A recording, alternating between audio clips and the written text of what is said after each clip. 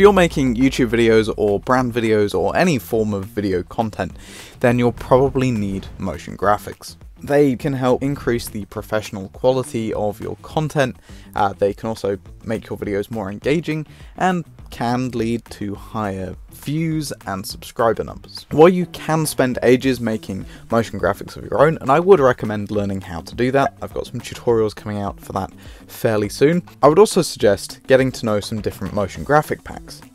One of my favourites that I've recently come across is the Toko Motion Graphics Pack, who is also the sponsor of this video.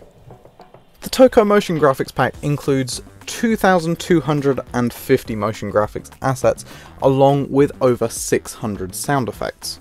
All of these motion graphics assets are sorted into 20 categories, meaning that it's easy to search, increasing your productivity in your workflow. Most of the assets are fully resizable, meaning that you can change it from being a vertical video to being a horizontal video, and it will all update without you having to mess around. You can also change just about everything about each of the motion graphics.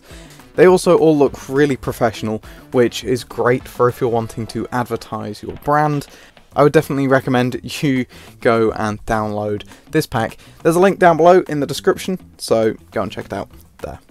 Once you've downloaded the folder from the website that contains all of the assets, you just need to extract that folder because it is a zip folder, and then open up the tutorials folder at the bottom, open the how to install web link. Once you double click on that link, it will take you to a video made by the people who made the pack on how you can install and use the motion graphics pack. There is also a link within the folder for all of the fonts that you'll need to download that you can download for free. Once you've downloaded and installed the pack, load up DaVinci Resolve and then go over to the effects panel.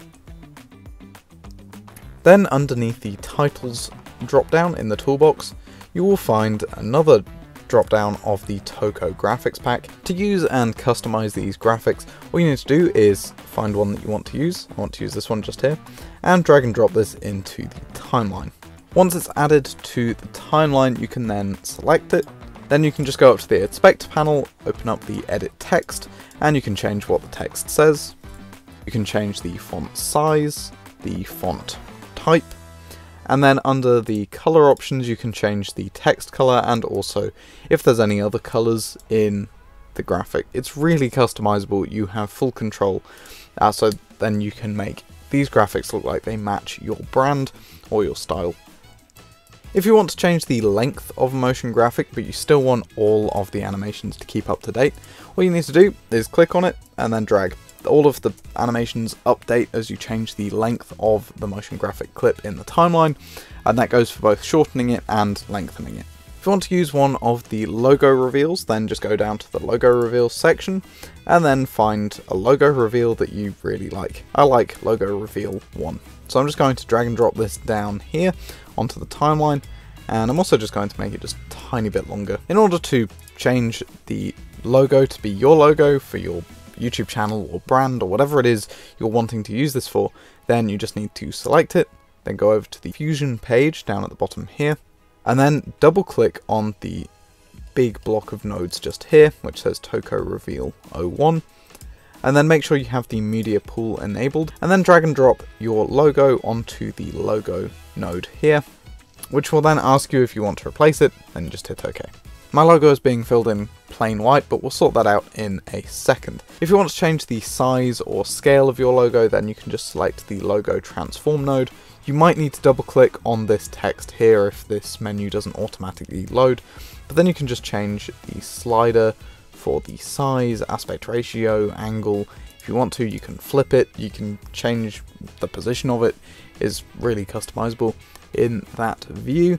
Then when you want to go back to your editing timeline, you could just go back to the edit page. Then under the main settings with the motion graphic clip selected, you can deselect fill logo.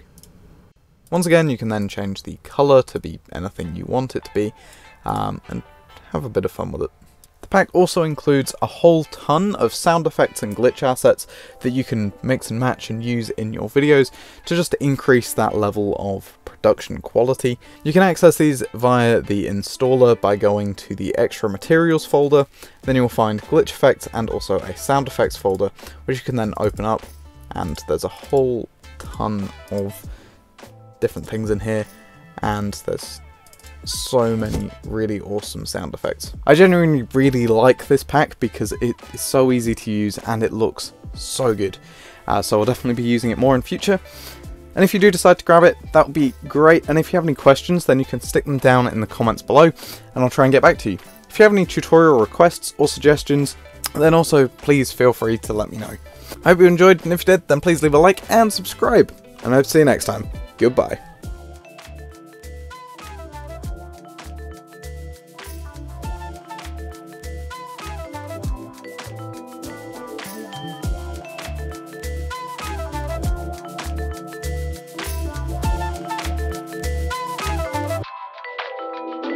Yeah.